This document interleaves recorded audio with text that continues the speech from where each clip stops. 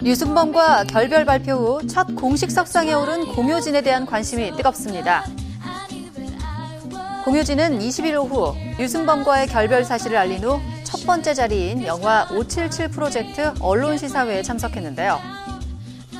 공효진은 그동안 류승범과의 연애 및 이별에 관해 비교적 솔직하게 털어놓은 만큼 방송 관계자들은 물론 누리꾼들의 이목을 집중시켰습니다. 한편 공효진과 류승범은 지난 15일 공식 보도 자료를 통해 4월 초 합의하에 결별했음을 밝힌 바 있습니다.